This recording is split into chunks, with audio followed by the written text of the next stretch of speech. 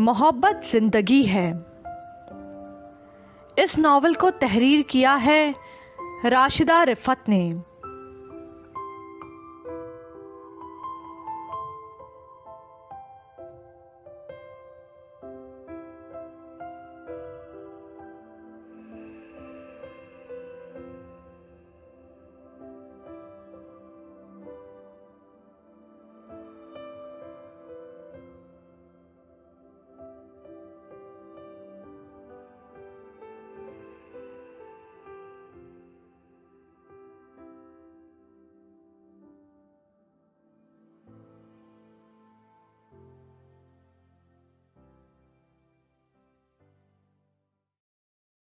अम्मा एनी आपा के ससुर की अयादत को गई थीं।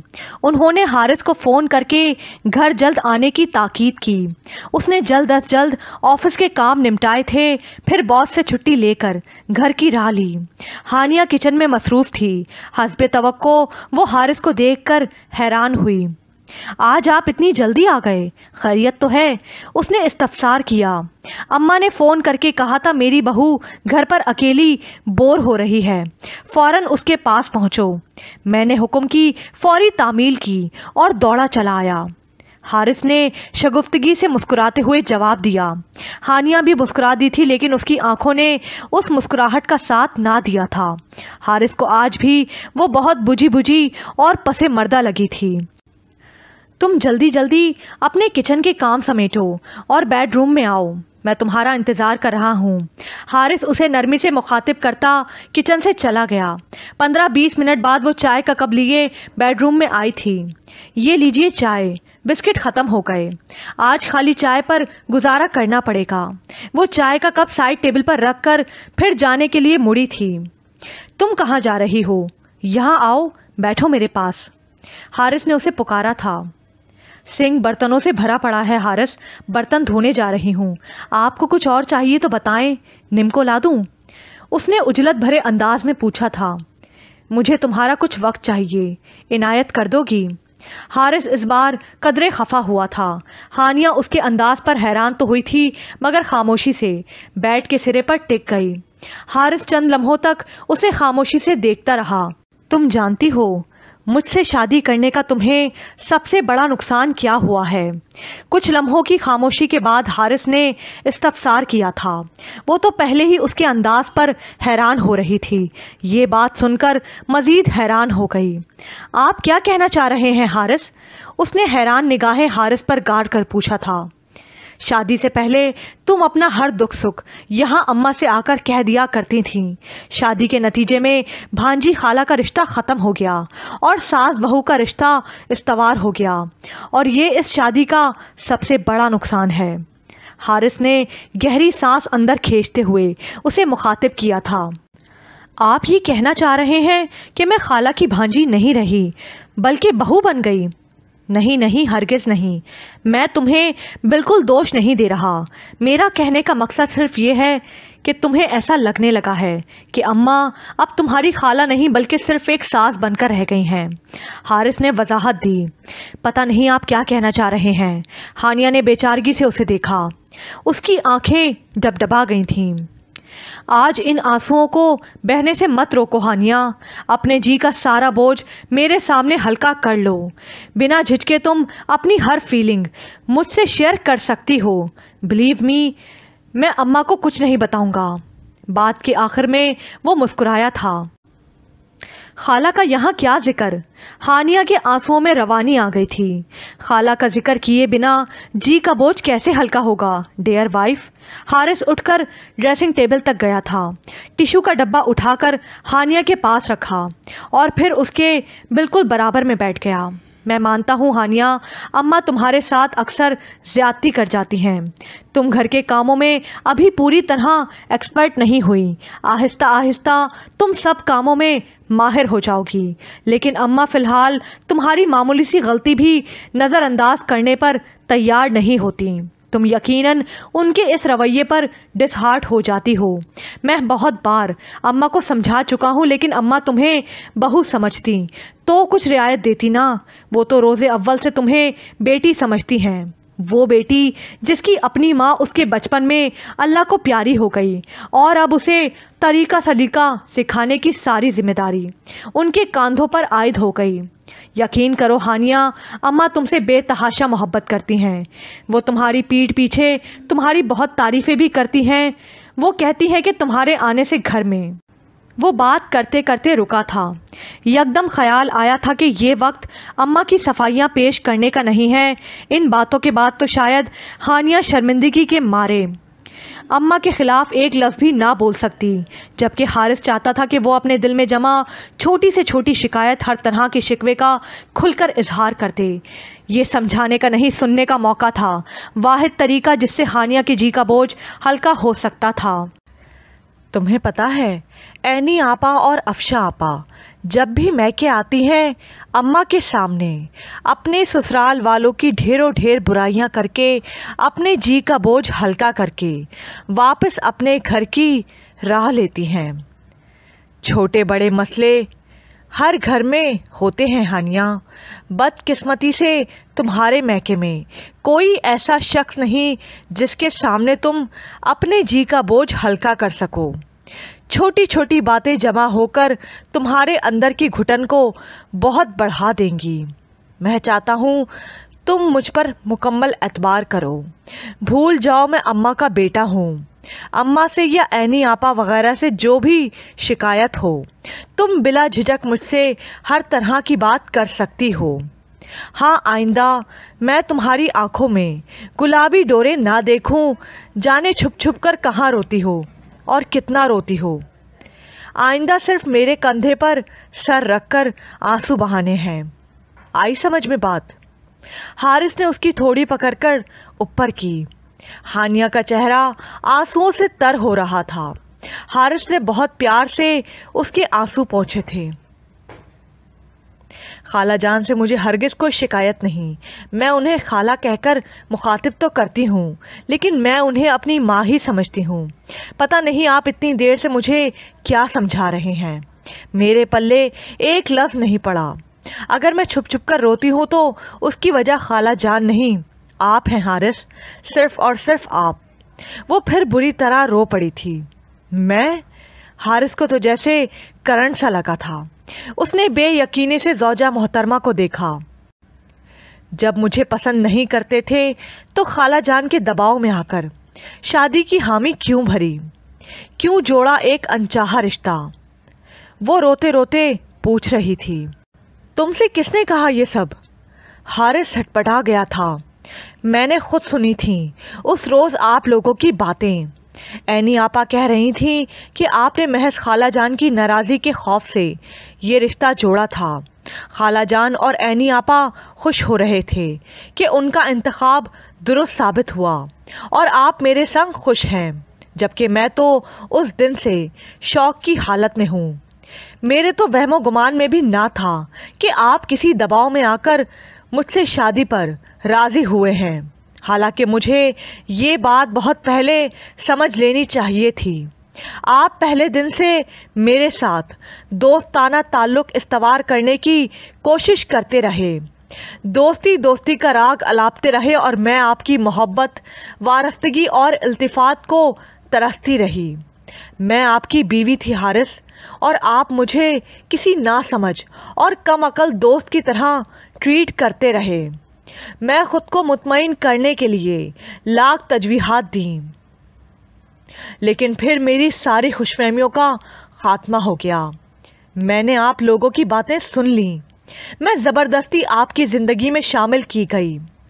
ये इनकशाफ मुझे किस अजियत में मुबतला कर गया, आप इसका अंदाज़ा ही नहीं लगा सकते। मेरी निगाहों में मेरी ज़ात दो कोड़ी की होकर रह गई। इससे अच्छा था कि मेरे भाई मेरी शादी शहजाद के साथ। इससे आगे एक लफ्ज़ नहीं। हारिस ने बेतहाशा खफा होते हुए उसकी बात काटी। वो चुप तो हो गई, मगर आँसू अब भी मुसलसल उसके गाल भिगो रहे थे। हारिस ने गहरा सांस अंदर खींचा था। सूरत हाल उसकी तवक्को के बिल्कुल बरक्स निकली थी। तुम जिस बेयकीनी की कैफियत में हो, पता नहीं मेरी वजाहत को कबूल करोगी भी या नहीं। लेकिन अब तुम्हें चुप होकर मेरी बात सुनना होगी। फॉर गॉड से एक आँसू बहाना बंद करो। ये आँसू मेरे दिल पर गिर रहे हैं। हारिस ने बेचारगी से उसे मुखातिब किया था। हाँ ये सच है कि जब अम्मा ने पहली बार मेरे सामने तुम्हारा नाम लिया था तो मैंने फ़ौरन ही इनकार कर दिया था। जानती हो क्यों? हारिस ने पूछा, हानिया ने आंसुओं से लबरेज आँखों से हारिस को देखा था, मगर हारिस के सवाल का कोई जवाब ना दिया था। मेरे इनकार की वजह तुम्हारे यही आँसू थे, मिसेस। ठंडी सांस भरते हुए हारिस ने टिशू के डब्बे से टिशू निकालकर हानिया को थमाए थे। पिछले कई बरसों से मैं तुम्हारे एक ही रूप से वाकिफ था, और वो रूप यही रोने धोने वाला था। एक रोती बसोरती लड़की से शादी का मेरा कतन कोई इरादा ना था। तो किसी ने गन पॉइंट पर तो मजबूर नहीं किया था आपको। ना करते मुझसे शादी। इस बार हानिया तिनक कर बोली थी। हारिस ने बहुत मुश्किल से अपनी मुस्कुराहट जब्त की। मुझे कोई गन पॉइंट पर मजबूर कर भी नहीं सकता। मिसेस, मैं ज़रा वखरी टाइप बंदा हूँ। हारिस ने उसे बावर करवाया था। हानिया बस उसे खफगी से देखती रह गई। जिस तरह तुमने हमारी बातें सुनकर ये खड़ाक फैलाया, उस तरह एक दिन मैंने भी इत्तेफाक से तुम्हारी और अम्मा की बातें सुन ली थीं। वही दिन था जब तुम अम्मा को शहजाद के रिश्ते के मुतालिक बता रही थीं। उस रोज़ तुम्हारे आँसू मेरी गैरत पर ताजियाना बनकर लगे। मेरा बस ना चल रहा था कि मैं शहजाद को शूट कर दूँ। अम्मा भी तुम्हारी वजह से बहुत अपसेट थीं। लेकिन मेरे एक बार के इनकार के बाद अम्मा ने दोबारा मेरे सामने तुम्हारा नाम तक ना लिया था। जो काम मुझसे कोई ज़ोर ज़बरदस्ती से ना करवा सका, वो बस खुद ब खुद ही हो गया। तुम इसे हमदर्दी का नाम दे लो या फर्मा बरदारी का। बहरहाल मैंने अम्मा को तुम्हारे लिए हाँ कह दी थी। मानते हैं ना आप कि ये सिर्फ़ हमदर्दी प्लस फर्मा बर्दारी थी। मजबूरी का ना सही, मगर ये हमदर्दी का बंधन है ना। हानिया की हिचकियाँ फिर शुरू हो गई थीं। हाँ निकाह से पहले तक यही सूरत हाल थी। हारिस ने फराग दिली से तस्लीम किया। अब ये मत कह दीजिएगा कि निकाह के बाद आपको मुझसे मोहब्बत भी हो गई है। वो रोते रोते बोल उठी थी। हारिस लब भींच कर उसे खफगी से तकता रहा। अब क्यों खामोश हो गए? बोलते क्यों नहीं? हानिया ने रंधी हुई आवाज़ में उसे मुखातिब किया। क्या कहूँ? जो कहने लगा था उससे तुमने मना कर दिया। मुझे बहलाए मत, हारिस। इतनी बेवकूफ़ और कमअकल नहीं हूँ मैं। वो चढ़कर बोली थी। बेवकूफ़ तो मैं हूँ। शादी के बाद से अब तक इसी कोशिश में लगा रहा कि हमारे दरमियान एक दोस्ताना सा ताल्लुक़ अस्तवार हो जाए। तुम मुझ पर एतमाद करो। मुझसे तुम्हारी झिझक ख़त्म हो जाए। अपने दिल की हर बात तुम सिर्फ़ मेरे साथ शेयर करो। मैं सोचता था, तुम्हारी ज़िंदगी में पुरखलूस रिश्तों की कमी रही है। अपने शोहर को तुम अपना सबसे पुरखलूस दोस्त मान लो। इस कोशिश का नतीजा ये निकला कि मैं तुमसे ढंग से इजहार मोहब्बत भी ना कर सका। और इजहार मोहब्बत करता भी तो कैसे? ज़रा सा रोमांटिक होने लगता था तो तुम्हारे चेहरे पर हवाइयाँ उड़ने लगती थीं। मैं हैरान होता था कि मेरे दिल में तुम्हारे लिए इतनी बेतहाशा मोहब्बत अचानक कैसे पैदा हो गई। लेकिन मैं अपनी मोहब्बत और वारफ्तगी ज़ाहिर करने के बजाय, पहले अंडरस्टैंडिंग डेवलप करने की कोशिश में लगा रहा। बताओ ज़रा इस रुए ज़मीन पर मुझसे बड़ा घामड़ और कौन होगा? और जिसके लिए ये सब कुछ किया, आज उसी की अदालत में पेशी भुगतना पड़ गई। उस मोजिद शख्सियत से मेरी इल्तमास है कि शक की ऐनक उतार कर सिर्फ़ एक बार मेरी आँखों में झाँक ले। अगर उसे वाकई इन आँखों में मोहब्बत का ठाटे मारता समंदर नज़र नहीं आ रहा हो तो मैं अभी इसी वक्त उसे अच्छे से आई स्पेशलिस्ट के पास ले जाने लगा हूँ। आप वाकई मुझसे मोहब्बत करते हैं, हारिस? किस बेयकीन लहजे में? वो इस्तफसार कर रही थी। हारिस को उस पर टूट कर प्यार आया था। कौन सी ज़बान में कहूँ कि तुम्हें यकीन आएगा? उसने मुस्कुराकर पूछा। हानिया ने ज़रा नज़र उठाकर उसकी सम देखा था। हाँ बताओ। नज़र आ गई मोहब्बत या वाकई चलें किसी आई क्लिनिक पर? हारिस ने धीरे से मुस्कुराते हुए पूछा था, अगर ये इजहार पहले कर देते तो मैं क्यों इतने दिन परेशान रहती? हानिया को मोहब्बत पर यकीन आया सो आया, साथ ही फिर से रोना भी आ गया। ज़रा सी तारीफ़ पर तो तुम बेर बहूटी बन जाती थी।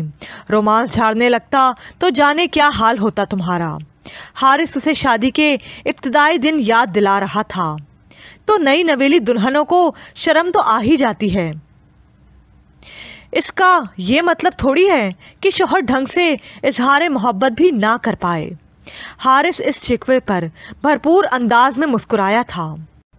मेरी दुल्हन अब भी नई नवेली ही है। वो मुतमिन रहे, अब उसका शोहर उससे मोहब्बत भी करेगा और इजहार मोहब्बत भी। कहो तो एक गज़ल सुनाकर, इजहार मोहब्बत की शुरुआत करूँ? वो शरीर हुआ था। बस करें अब। हानिया के होठों पर शर्मगीन सी मुस्कुराहट फैल गई थी। शुरू किया नहीं और अभी से बस कर दूँ। फिर मेरे खिलाफ एक और चार्जशीट तैयार हो जाएगी। वो हंसा था। हानिया भी झेप कर हंस पड़ी। चलो शुक्र है। आज हम दोनों की गलत फहमियों का खात्मा हुआ। तुम मुझसे बदगुमान थी और मैं सोचे बैठा था कि शायद तुम अम्मा की बातों पर डिस्टर्ब रहती हो। मैं सोचता था, जैसे तुम अपने घर वालों की छोटी छोटी बातों पर दिल गिरफ़्तार हो जाती हो, अम्मा की बातें भी तुम्हें वैसे ही परेशान करती हैं। आप मुझे बहुत इमेच्योर समझते थे, हारिस। मुझे अपने घर वालों की जिन छोटी छोटी बातों पर रोना आता था वो बेशक आपके लिए मामूली हों, लेकिन मुझे उनके जिन रवैयों को मुसलसल भुगतना पड़ रहा था, वो सहना किसी भी नॉर्मल इंसान के लिए आसान नहीं था। मेरी भाभियाँ मुझे सिर्फ़ एक बोझ तस्वुर करती थीं। उनके सर्दो सपाट रवैयों को सहते सहते जब मैं थकने लगती तो यहाँ खाला के पास आकर अपने जी का बोझ हल्का कर लेती। माँ बाप के बाद मेरा घर मेरे लिए सिर्फ़ एक सराय बन चुका था। अपने ही घर में अजनबियों और मेहमानों की तरह रहना। कितना तकलीफ़ दे अमर है। इसका अंदाज़ा कोई और शख्स लगा ही नहीं सकता। हानिया थके थके लहजे में बोली थी, चलो, अपने तकलीफ़ दे माजी को भूल जाओ। अल्लाह ने मुझसे मोहब्बत करने वाला शोहर अता करके क्या तुम्हारी सारी महरूमियों का अजाला नहीं कर दिया? आपसे शादी के बाद मुझे माँ जैसी खाला की शफकत भरी छाँव हमेशा के लिए मैसर आ गई। मेरी असल खुशनसीबी ये है जनाब, हानिया ने इस बार मुस्कुराकर जताया था। तो जब माँ जैसी खाला तुम्हारे किसी काम में, माओ के अंदाज में नुक्स निकालती थीं तो तुम्हारे चेहरे पर बारह क्यों बजने लगते थे? हारिस को बर वक्त याद आया तो पूछ बैठा था। सिर्फ़ और सिर्फ़ आपकी वजह से। खाला जब भी मुझे कुछ समझाने लगती। आप मुझे ऐसे टिकटिकी बाँध कर घूरने लगते कि खफत के मारे। मेरा बुरा हाल हो जाता। मैं सोचती थी कि आप अपने दिल में मुझे फुअर समझ रहे होंगे। बस मुझे इसीलिए रोना आने लगता था। लो जी, यानी कि ये कसूर भी मेरे ही खाते में दर्ज था। सदमे और अफसोस से हारिस का बुरा हाल होने लगा। गलत फहमी थी हारिस, अब तो ख़त्म हो गई ना। हानिया ने उसे तसल्ली दी। हारिस उसे मसनू खफगी से घूरने लगा था। अच्छा वैसे नाराज़ होकर तो मत घूरें। प्रॉमिस आइंदा आपके ख़िलाफ़ कोई गलत फहमी दिल में नहीं पालूँगी। जो भी बात होगी, सबसे पहले आपसे शेयर करूँगी। आखिर आप मेरे बेहतरीन दोस्त भी तो हैं। हानिया ने उसे मुस्कुराकर मुखातिब किया था। हरगिज़ नहीं, दोस्ती वाली पेशकश महदूद मुद्दत के लिए थी। अब मैं तुम्हारा शौहर हूँ। पहले तुमने मेरा दोस्ताना रूप देखा था। अब मेरी मोहब्बतों की शिद्दतें भी देखनी पड़ेंगी। और अगर तुमने मैं सब कुछ देख लूँगी, हारिस। पहले ज़रा किचन देख लूँ, बग़ैर धुले बर्तनों का अंबार जमा है, और शाम के खाने के लिए भी कुछ बनाना है। हानिया बौखलाकर उठ खड़ी हुई थी। हारिस ने उसका हाथ पकड़कर दोबारा अपने पास बिठाया था। तुम्हारा ये शर्माना, बौखलाया सा रूप मेरे होश उड़ा देता है। जाने मन, पता नहीं चंद ही दिनों में कैसा जादू कर दिया मुझ पर। हर वक्त, हर घड़ी सिर्फ़ तुम्हारे ख्यालों में ही खोया रहता हूँ। हारिस के मखमूर लहजे में की जाने वाली सरगोशी, उसकी वारफ्तगी, हानिया अपने दिल की धड़कन को संभालने में नाकाम हुए जा रही थी। मुझे आपकी मोहब्बत की सदाकत पर दिल से यकीन आ गया है हारिस, लेकिन दोस्ती वाली पेशकश की मुद्दत थोड़े अरसे के लिए और बढ़ा दें प्लीज़। वो धीरे से गोया हुई थी। उसकी पलकों की लर्जिश और गालों पर बिखरती लाली उसकी दिली कैफियत का पता दे रही थी। हारिस, महजूज अंदाज में मुस्कुराया था। सिर्फ़ एक डायलॉग सुनकर ये हालत हुई है। ये तो इजहार मोहब्बत की इब्तदा है, बीवी। उसने उसे शरीर अंदाज में छेड़ा। आज के लिए यही बहुत है। बस मैं अब खाना बनाने जा रही हूँ। वो यकलक अपना हाथ उसके हाथ से छुड़ाती, तेज़ी से कमरे से बाहर निकली थी। हारिस के लबों पर दिलकश मुस्कुराहट बिखर गई थी। माँ की फर्मा बरदारी का क्या खूबसूरत और हसीन इनाम मिला था उसे। उसका रुआ रुआ अपने रब का शुक्र गुजार था। बहुत मुतमिन अंदाज में वो बैठ पर नीम दराज हो गया। अब वो आँखें मूंदे दिल ही दिल में रोमांटिक सी गज़ल याद करने की कोशिश कर रहा था, जो आज शब उसे अपनी बीवी को सुनाकर बाकायदा और भरपूर इजहार मोहब्बत करना था। क्योंकि हानिया का शिकवा बजा था। इजहार के बिना मोहब्बत अधूरी थी। अब उसे मोहब्बत भी करनी थी और साथ ही उसका भरपूर तरीके से इजहार भी। साथ ही ये एतराफ़ भी कि मोहब्बत के बिना उसकी ज़िंदगी अधूरी थी। बिल्कुल अधूरी, क्योंकि मोहब्बत ही तो ज़िंदगी है।